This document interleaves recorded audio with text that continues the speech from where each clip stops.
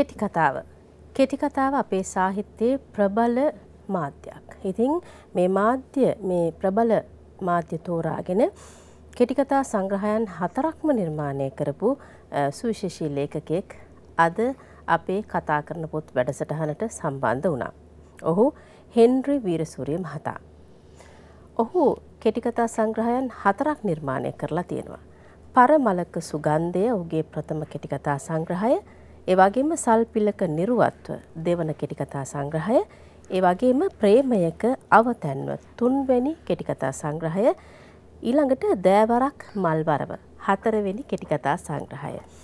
ඔහු මේ වන විට මේ ලිව් කෙටිකතා සංග්‍රහයන් හතර පිළිබඳවම කතා බහ කරන්නට අද දවසේ ආරාධනා කළා කතා කරන පොත් වැඩසටහන්ට හෙන්රි විරසුරියම හතාට අයිබොන්න පයිබොන්. දැන් කෙටිකතා කරණයට පිවිසෙන්නේ කොයි වගේ කාලයකදීද. ඒ කියන්නේ දැන් පොතක් මුද්‍රණය කරන්නට කලින් ඔබ අනිවාර්යෙන්ම කෙටිකතා කරණය යෙදෙන්නට ඇති. ඒ කොයි කාලවකවානුවේදීද. එක්දස් නම්සේ හැත්තෑ පමණ කාලයේදී. එකල තිබුණා මේ දවස පුවත්පත් කාර්යාලය සිං නිකුත් කරන ලද සවස කියලා හැන්දෑවට විතරක් පිට කරන පුවත් පතක්. මුලිම මම කෙටිකතාලී ඒකට. එහෙම අවුරුදු ගණක් යනකොට ඒ දවස පුවත් පත වැැහ්වා ඊට පස්ස මගේ කෙටිකතාලිවීමත් නැවතුනා. ඊට පස්ස දිවයින පුවත් පත් සමාගමේ දිවයින ඉරිදා සංග්‍රහයට මම කෙටිකතා ලියන්න පටන් ගත්තා. පසු කාලෙකද ඒකත් මං විහිම්ම අතහැර දැම්ම කියන්න පුළුවන් එකත් නැවතුනා. ඊට පස්සේ මම වෘත්තිය වශයෙන් චාරුප්ප ශිල්පය කෙරුවා උද්‍යාන නිර්මාණය කෙරුවා ඔය කාරණ හින්ද මට කෙටිකතාවට ලිවීමට හිතයොදවන්න තරම් අවකාශක් නොතිබුණ නිසා එක මග ඇරුණා. ඊට පස්සේ මම මේ ඔය ශාරප ශිල්පියෙක් විදිර ගතකරපු ජීවිතයෙන් දෙදස් දහය විතර අයිගුණට පස්සේ මට නැවත හිතුන කෙටිකතා ලියන්න ඕනි කියලා ඊට පස්සේ තමයි කෙටිකතා ලියන්න පටන් ගත්තේ. ඒ අනුව දෙදහස් එකොළහදි තමයි ඔබේ ප්‍රථම කෙටිකතා සංග්‍රහය නිර්මාණය වෙන්නේ පරමලක සුගන්ධය. ඔව්. මේ කෙටිකතා සංග්‍රහයට ඔබ කෙටිකතා දහයක් ඇතුළත් කරලා තිබෙනවා. සමාජයේ විවිධ පැතිකඩයන් නිර්මාණය කෙරෙන නිර්වචනය කෙරෙන. මේකෙදී ඔබ විශේෂත්වයක් දැක්වූයේ මොකද දැන් ඔබ ලියූ සියලුම කෙටිකතා නෙවෙයි ඔබ තෝරා බේරා ගන්නට ඇති මේ කෙටිකතා 10 තෝරා ගන්නකොට දක්වපු විශේෂත්වයන් මොනවද? ඇත්තටම මේ මට තෝරා බේරා ගැනීමට තරම් මේ ගැටලුවක් තිබුණ නැහැ. මම ලියපු හැම කෙටිකතාවක්ම එක්කහුල තමයි මම පළවෙනි පොතට දහ එක්කහු කරගත්තේ. මම තහලා තියෙනවා වෙනත් ලේකකින් කෙටිකතා කීපයක් ලියලා ඒකෙන් පොතට වමනා ප්‍රමාණය විතරක් තෝරගන්න කියලා මට එහෙම ගැටලුවක් වුණේ නැහැ. එනි සමන් ලියපු මුල් කෙටි කතා දහයම එකහු කළ තමයි ඔය පොත නිර්මාණය කෙරුවේ. මෙතනදී සමාජ විවරණය සඳහා ඔබ මූලිකම තෝරාගත්ත යම් යම් කතාන්තර තියෙනවා සහ විවිධ අපේ සමහර විට මේවා කියවනකොට අපිට දැනෙන්න පුළුවන් මේ අපි සමගම ජීවත් වෙච්ච චරිත කියලා. බොහෝ විට අපේ ජීවිත අත්දැකීම් මේවට පෙර සැකසුම් සලසනවා. ඔබටත් එවැනි අත්දැකීම්ද මේ තිබෙන්නේ? ඔව්. අපි නිතරම සාමාන්‍ය මිනිස්සු අතරනේ ගැවසෙන්නේ. ඒ ඒ ගැවසීම අතරතුර මුණ ගැහෙන චරිත ආදේශ කරගෙන මම මේ චරිත ප්‍රතිනිර්මාණය කරනවා. සමහරවිට මට බොහොම සුළු දෙයක් වෙන්න පුළුවන් මාව මාව පෙළන්නේ ඒ චරිත ඇසුරෙන්. නමුත් මම ඒ චරිත ආශ්‍රිතව මට ඇතිවෙන තැතිගැම්ම හෝ කම්පනය මම ප්‍රතිරින්මානය කළ තමයි මම කෙටි කතාවක් කරන්න. මේකෙදි මම කැමති පොඩ්ඩක් කතා කරන්න මේ ආදරයක හරස් කඩක් කියන මේ කෙටිකතා සංග්‍රහය පිළිබඳව. මේක මේ ස්ටේෂන් එහෙක එහෙම නැත්තම් දුම්රිය මම වලක සිදුවෙච්ච දෙදෙනෙක් අතර තියෙන කතා බහක එක්ක මේක විශාල සමාජ විවරණයක් අපි දකිනවා. හැබැයි ඒක දෙන්නෙක් අතර වෙච්ච කතාබහක් පමණයි. බොහෝ විට කෙටි කතාවේ තියෙන විශේෂත්වයක් එයයි. මොකද නව කතාව තරම් විශාල පරාසයක් අපට නැති වුණත් අපි කෙටි කතාව තුළ ඒ සම්පින්ඩනයේ විශාල විවරණයක් අපි කෙරෙනවා. මම කැමති මේ ආදරයක හරස් කඩක් පිළිබඳව ඔබෙන් දැනගන්න. ඇත්තට මේක මගේ පෞද්ගලික අත්දැකීමක් ඇසුරකට නිර්මාණය කරපු එකක්. මේ ඒක මේ ඒ ඒ යුවල නිතරම මුණගැහෙන්නේ දැන් වගේ නිදහසක් නෑ ප්‍රේමන්තයට එකතු වෙන්ඩ දුම්රීය මාර්ගය උඩින් තියෙන ගාඩර කියල හඳුන්නන පාලමක්කුඩ. යතින් තියෙනවා සමාන්තර ලේල් රේල් පිරි දෙකක්. ඒ රේල් පිරි දෙක මේ දෙ දෙනා කවදක්කත් එක් නොවන බවට කරන සංකේතයක් විදිහටයි මම පාවිච්චි කරුවේ. එතකොට අර දැන් සාමාන්‍ය සියලුම කෙටි කතාවල හෝ චිත්‍රපටිවල හෝ නවකතාවල හෝ සිටින චරිත විදිහටම එක්කෙනෙක් දුප්පත් අනිත් එක්කෙනා පොහොසත්. මෙතන මේගොල්ලන්ට බාධාවක් ඇති වෙනවා මේගොල්ලන් එක්වීම කරගෙන යාමට. සහ ඒ තරුණයාට නිදහසේ මේ ප්‍රේමය ගැන හිතන්න පුළුවන්කමක් නෑ. යාර තියෙන දුෂ්කර ආර්ථික පසුබිම නිසා. ඒ අනුව තමයි මේ වෙන්වීම නිර්මාණය වෙන්නේ. එතකොට ප්‍රේමවන්තය දකිනවා කවදාකත් මේක හොඳ අවසානයක් දැකී හැකි ප්‍රේම සම්බන්ධකමක් නොවේ කියලා ඔහු ඒකට බයින් එක මගරින කතාව තමයි තියෙන්නේ. ඔව් දැන් මම මේකේ තියෙන කතාන්දර ටික අපි කියවන්න ගියොත් අපේ පාඨකින්ට කියව ගන්න ඉතුරු වෙන්නේ නැති වෙනවා. නමුත් මේ කතාවේ අවසානයේදී කියවෙන එක වාක්‍යයක් මම කැමතියි ඔබට කියවන්නට. ඔහුට ජීවිතයේ පළමු වතාවට තනියක් දැනෙන්නට පටන් ගත්තා. ඔහු සොයා නැවත කිසිදාක ඈ නොයන බව ඔහුට වැටහුණා.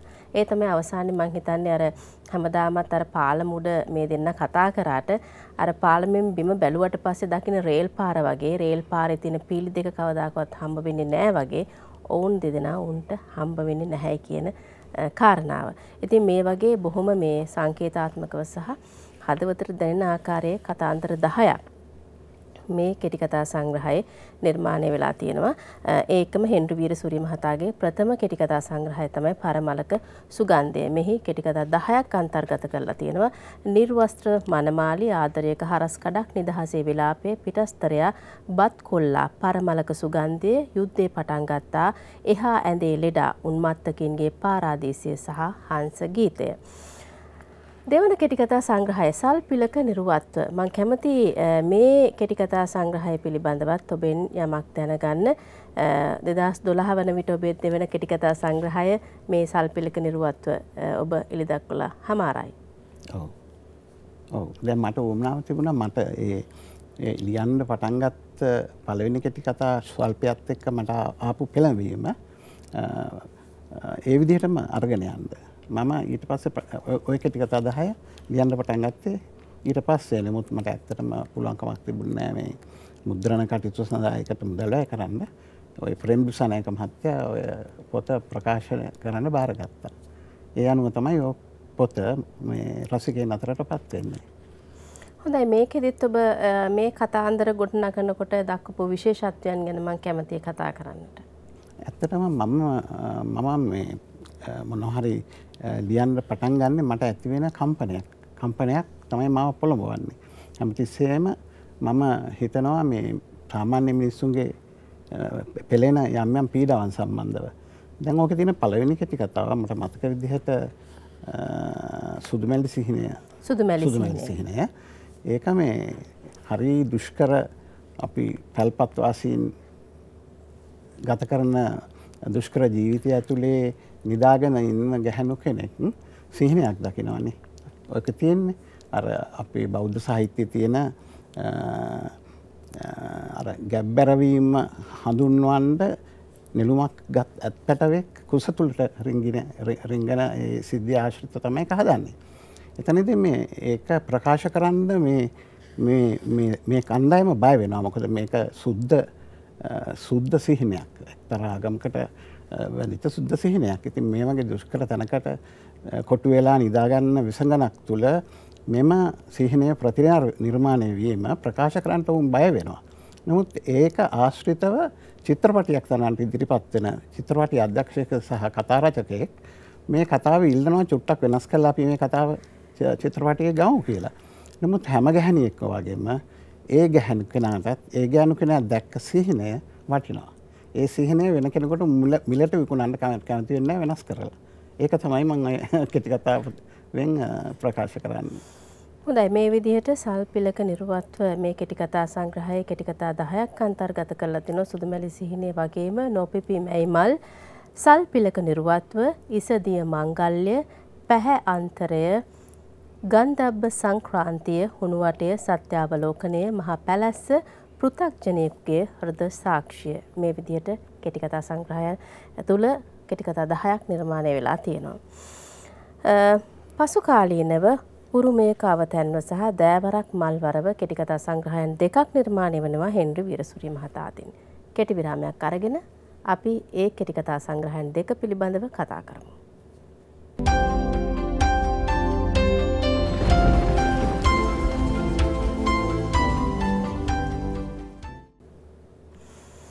හොඳ කෙටිකතාවක් රචනා කිරීමට වඩාත් වැදගත් වන්නේ සියුම් නිරීක්ෂණ කෞශල්යක් තිබීම. ඉතින් අපේ හෙන්රි වීරසූරිය මහතාගේ මේ කෙටිකතා සංග්‍රහයන් තුළ එවැනි සියුම් නිරීක්ෂණ ලක්ෂණ තිබෙන නිසා වෙන්නට ඕනේ එකක් පාටකින්ගෙන් වැඩි ප්‍රතිචාර ලැබීම. සහ ඒ ලැබෙන ප්‍රතිචාර අනුව නැවත නැවත කෙසේ හෝ තවත් කෙටිකතා සංග්‍රහයන් බිහිවීම. ඒ අනුව උරුමයක අවතැන්ව කියන කෙටිකතා සංග්‍රහය බිහි වෙනවා ඔහු අතින්. මං කැමති මේ කෙටිකතා සංග්‍රහය පිළිබඳවත් යමක් කතා කරන්නට මොකද මේ කෙටිකතා සංග්‍රහයන් ජාතික පුස්තකාල හා ප්‍රලේඛන සේවා මණ්ඩලයේ අනුග්‍රහයෙන් මුද්‍රණය වන්නේ. ඉතින් එවැනි මුද්‍රාවක් ලබන්නටත් මං හිතන්නේ එක්තරා විදිහක තියෙන්නට ඕනේ එහි තියෙන ගුණාත්මක භාවය අනුව තමයි ඒ සහතිකය ලැබෙන්නේ. ඉතින් මේ සියල්ලම මේ අනුමැතිය සහිතව ලැබිච්ච කෘති. ඉතින් මං කැමති මේ උරුමයක අවතැන්ව කෙටිකතා සංග්‍රහය පිළිබඳවත් කතා කරන්න ඔබේ. ඔය අර මේ පහුගේ කාලේ ඩෙංගු අසංගතයේ ආශ්‍රිතව තමයි උරුම කවතැන්ව කියන මේ කෙටිකතා සංග්‍රහය මම නිර්මාණය කෙරුවේ ඒක එක්තරා මහලු මිනිහෙක් තනි තනිව ජීවත්වෙන මහල මිනිහගේ වත්තක් පරීක්ෂා කරන්න එනවන්නේ මේ රජය නිලධරිදි දෙනෙක් ඔවුන් දකිනවා මේ මනුස්සයා කිසිම හවහරණයක් ඇතුව මේ ගේ ආරක්ෂා කර ගනිමින් ඉන්නවා කියලා. එයාට එයාගේ දරුවෝ නූත් ඒ පෞරාණික දේවල් අත්තරලා අලුත් දේවල් හොයාගෙන එළියට ගිහිල්ලා. නමුත් මේ මිනිහා බැඳිලා ඉන්නවා මේ මනුස්සයා මේ පෞරාණික ගේ සහ ඉඩම ඒ මනුස්සයා කාටවත් දෙන්න කැමැත්තක් නැතුව දෙන්න කැමැත්තක් නැතුව. එතකොට මේ එන මේ රජය නිලධාරින් දෙන්නත් එක්කලා තමයි මේ නිධරි ඇත් එක්ක තමයි මේ කතාපහක් ඇති වෙන්නේ. ඒ අනුව තමයි ගොඩ නැගෙන්නේ මේ උරුමයක අවතැන්වීම පිළිබඳ ශෝකාන්තය. එයා එයාගෙන් නිලධාරී යහනවා මේක ලියල දෙන්න මොකද කාටරි මේක පවරන්න කියලා. එතකොට එයා කියනවා මේ ඉඩකඩන් භූමිය කාටවත් ලියල දුන්නට ඒගලන්ට අරංයන්ට බෑනි රේඩිය එකක් වගේ අතින් අරගෙන ඒක හින්ද මේවා සත්තුන්ට හැම කෙනටම පොදුවේ බුක්තු විඳන්න මෙම තියෙන් ඕන කියන එක. ඒක තමයි මංෝකෙන් අදහස් කෙරුවේ භූමිය කියන එක අපි මිනිස්සු කෙළ හිතුවට අපි සත්ව කොට්ලාශයක්න අපි කාටත් පොදුවේ මෙහෙම තියෙන එක තමයි හොඳ කියන එක. හොඳ මං කැමතිනේ කුරු පිළි පිළිබඳවත් පොඩ්ඩක් කතා කරනවන ඔබ. ඒක ඇත්තටම මම හිරැස්ස කල පැත්ත යනකොට මම දැක්වයි පරිසරේ. ඒ පරිසර ආශිත තමයි ගණ මීදුම් පටල. පටල කඳු බෑගුම් ඒ අනුව තමයි මටෝක මූලික අදහස ආවේ. අනිත් කොක්කෝම ඒ මම ගිය තැනත් මගේ අලුවගෙක දරගී ඒ ගැහැනු කෙනෙක්. ඒ වෙනකොට එය තනිකට ජීවත්වෙන්නේ යාගේ මේ ස්වාමි පුරුෂයාගෙන් වෙන් වෙලා. අපි අන්ඩ දවස් දෙකතුනකට ඉස්සල්ලා ඒ ගෙදරට ඇතුළලා තින හොරෙක්. ඇතුළලා මොනවද හොකන් කරන ගිහිල්ලා ඉටසේ ඒ කතාවේ අකිව ඇත්තටම යාගෙන් නැතිවෙලා තියෙන්නේ මේ වටිනා දේවල් නෙමෙයි අර ගැහැණුවයි පාවිච්චි කරන රූපලාවන්‍යකට කටයුතු වලට ආදේශ කරගෙන දේවල්. ඉතින් ඇත්තට මේ වෙලාවේ අපිට හිතුණා මෙහාට එන්න ඇත ගැහැණු කෙනෙක් කියලා මේ අරගෙන ගිහිල්ලා තියෙන බඩු දිහා බලපුවාම ඒ ආශ්‍රය තමයි ඔය කතාව ගොඩ නැගුණේ. නමුත් අර යම් යම් වෙලාවල් වලදී ඒගොල්ලෝ ඒගොල්ලන්ට අර හුදකලා වෙච්ච ගැහැණියෙකුට තනිවම ජීවත් වෙන්න බැරි ගැටලු මත වෙනවනේ. ඒ ගැටලු වලට ගොදුරු වෙනවා. ඒ ගොදුරුවීම මම ඕකට නිර්මාණත්වක අර සිද්ධත් එක්ක සම්බන්ධ කරවා. මේ කෙටිකතා හතක් අන්තර්ගත කරලා තියෙනවා උරුමයක අවතැන්න මේ කෙටිකතා සංග්‍රහය තුළ. ඉතින් මේ කෙටිකතා සංග්‍රහයන් හත අතර කුරුබිලි හුදකලාලු බඳුන් දූවිලි ගෙත්තම රංකෙන්ද දියබත් පෙම් කුසුම සංගත සහ විසංගත උරුමයක අවතැන්න. මේ කෙටිකතා සංග්‍රහයන් හතම මේ උරුමයක අවතැන්ව කෙටිකතා සංග්‍රහයට අන්තර්ගත කරලා තියෙනවා. ඔබ මෑතකම ලියූ කෙටිකතා සංග්‍රහය දෑවරක් මල්වරව. වටිතුන මෙපමණ ප්‍රමාණයක් ඔබ කෙටිකතාවලටම මේ සීමා වෙන්නට හේතු වෙනටත් ඇත්තේ අර මුලින්ම පරමලක සුගන්ධය ලිව්වාට පසුව ඔබ ලියූ විවිධ කෘතීන් වලට ලැබිච්ච පාඨක ප්‍රතිචාර විය හැකි. ඔව්. ඔව්. හොඳයි. එහෙමනම් දෑවරක් මල්වරව නිර්මාණය වුණේ කොහොමද? දැන් මේකත් ඔය දැන් ඔය මට මුලින්ම අර ඕකේ තියෙන මතක වස්ත්‍ර කියන කතාව මේ සමස්තයක් වශයෙන්ම නිර්මාණය කරන්න මට හේතුභූත වුණේ මේ දැන් තියෙන දැන් තියෙන රටාවට පෙර පැරණි පන්සල්වල හිටපු භික්ෂූ චරිතරයක් ඇතුළේ ඇසුරින්. ඒ භික්ෂුන් වහන්සේ තැන් තැන්වල ගිහිල්ලා ඔය එක එක්කෙනාට උපදේශ ආගමික කටයුතු වලට අදාළ අවවාද අනුශාසනා දෙන්න නැතුනට දන්නේ නැතුණාට ප්‍රායෝගික මිනිසුන්ගේ ජීවිතවල තියෙන ප්‍රශ්නවලට විසඳුම් දුන්නා. ඉස්සර පැරණි හාමුදුරුවරු. ඒ ඒ ඒ හාමුදුරු කෙනෙක්ගේ චරිතය සහ විකල්විච්ච තරුණයෙක් මානසික රෝහලකට ගිහිල්ලා සිදුවන ඇබ්‍රතියක් ඇසුරු කරගෙන තමයි මම කෘතිය කෙටි කතාව නිර්මාණය කරේ. ඕකත් ඇත්ත සිද්ධි දෙකක් එකට ගලප්ලා ලියපු කෙටි කතාවක්. මං කැමති පොඩ්ඩක් දැනගන්න ඔබෙන් දැන් මෙහිත් අන්තර්ගත කරලා තියෙනවා පෙරවදන පිළිසඳර මතක වස්ත්‍ර දෑවරක් මල් වරව එතකොට මියෙන්නන්ගේ සමුළුව ප්‍රකම්පිත මෙවුල් දම. එතකොට දැන් මේ කෙටිකතා සංග්‍රහයට කෙටිකතා තෝරා ගැනීමත් ඉදිත් ඔබ යම් විශේෂත්වයන් දැක්වූ ආද තිබෙන කෙටිකතාවල. නෑ ඕකෙත් ඇත්තටම මම ලියපු කෙටි කතා පහක් තමයි ඔය දාලා තියෙන්නේ. එක දිගටම ලිව්වා. ලියලා ඒ කෙටි කතා පහ ඔය ඔය කෘතියට ප්‍රමාණවත් කියලා හිතුණා හිතුණාම මම ඒක පුස්තකල සේවා මණ්ඩලයට දුන්නා. ඒගොල්ලෝ මට ඕකට අනුග්‍රහය දුන්නා. මම කැමතියි දැනගන්න දැන් කෙටි කතාවක අපිට තියෙන අවස්ථාව හරි අඩුයි. නවකතාවකට වඩා දැන් නවකතාවකදී නම් අපිට තියෙනවා ලොකු පරාසයක්. සහ ඉඩ කඩක් අපිට ඒක පිටු ගාන වැඩි කරගන්න පුළුවන්. හැබැයි කෙටි කතාවකට තියෙන මේ අඩු අවකාශය තුළ අපි කොහොමද අපේ අපේ කතාවට ඒ නිසි ලෙස ඒ අවධානය යොමු කරගන්නට පාඨකයාට සාධාරණයක් ඉෂ්ට වෙන්න කොයි විදිහටද ක්‍රියාත්මක වෙන්නේ? දැන් ඇත්තටම කෙටි කතාවයි නවකතාවයි අතර තියෙන වෙනස තමයි නවකතාවක ගොඩනගන්නේ චරිත නෙවෙයි. කෙටි කතාවක සිද්ධියක්. අපි සිද්ධියක් අරගෙන තමයි කෙටි කතාවක් ලියන්නේ. ඒක දිග කොට හෝ නෙමේ ඒක තමයි කෙරි කතාවකයි නවකතාවකයි වෙනස ඇති කරන රේකාව. දැන් ඔය කෙටිකතාවකදී අපි ඉසා සරල වශයෙන් විග්‍රහ කරුවොත් ලඝු කළ කතානය ලඝු කළ කතා. ඉතින් දැන් මට මතක් වෙනවා කෙටි කතාවක් ලියන්ඩ ඉස්සරලා කෙටි කතාගෙන හිතන්ඩත් ඉස්සරලා මට මතක් වෙන මගේ කුඩා කාලේ අපි නින්දට යනකොට අපේ ආච්චියෝ අම්ම හෝ අපිට කතන්දර කියන නින්දට යන්න. ඒගොල්ලො කියන්න එක්කො මේ මුවන් තිස්ස කුමාරයා අලින් තිස්ස කුමාරය ගිහිල මාළු අල්ලපු හැටි. අපි ඉතින් නිදාගන්න අපි අපි අපි එක ප්‍රශ්න කරන්න යන්න ඇයි මේ මුවෙක් ගිලින්න තරන් ලොකු මාළු මේ විලේ හිටියද අලිය ගියන් ගිලින තරම් පුළුවන් මාළු මේ හිටියද කෙනක අපි ප්‍රශ්න කරන්න නැතුව අපි හරි වින්දනයකින් නින්දට යනවා. ඒ ඒ ඒ ඒක තමයි මට කෙටිකතා ලියන්ට ආදේශ වනේ මම උපකාරකට ගත්තේ. ඉතින් හරි චූටි චූටි තැනකදී පුළුවන් නේද කෙනෙක්ව අවධි කරවන්න මේ කෙටිකතාවක් ලියලා කියලා. ඒක ඒක මගේ හැම කෙටිකතාවට ම බල මට බලපෑවේ කුඩා කාලේ. ඒ අපේ ආච්චි හෝ අම්ම අපිට කීප පොඩි කතන්දර. මේ වෙනකොට තවත් අලුත් කෙටිකතාවක් දැම අලුත් පොතේ කෙටිකතා තුනහ මාරක් ලියලා තියෙනවා.